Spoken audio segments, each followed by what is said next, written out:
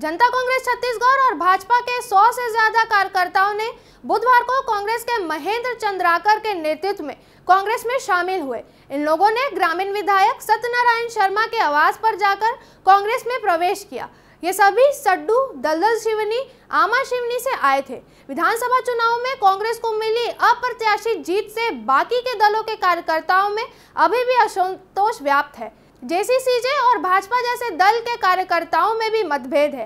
प्रवेश कर रहे कार्यकर्ताओं का कहना है कि वे दशकों से भाजपा का साथ दे रहे थे, बावजूद इसके उनके हिस्से विकास नहीं आ पाया है। देखिए, कांग्रेस में बीजेपी के लोग शामिल हो रहे हैं और कैसे ऐसा कोई व्यक्ति शामिल नहीं हुआ जिस पर बहुत बड़ी आपत्ति हो। और जो शामिल हो रहे हैं वो बीजेपी के लोग हैं। और हमने इनको पूरी तरह से ठोक बजा करके प्रवेश दिया है ऐसा नहीं। निश्चित रूप से भाजपा तो मोह भंग तो हो गया, हो ही गया। पंद्रह साल में पंद्रह सीट पे आ गए, कम है क्या? हाँ टूट रहे हैं, बहुत लोग टूट रहे हैं, वो टूटेंगे और भी। हम लोग हमारे इलाके से जितने कार्यकर्ता भटके हुए थे, जो जनता कांग्रेस पार्टी और बीजेपी में जुड़े हुए थे, उन सबको हम कांग्रेस प्रवेश करवा रहे हैं।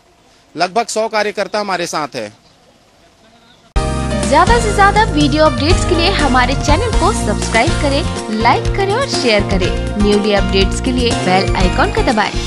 Desh TV we report you decide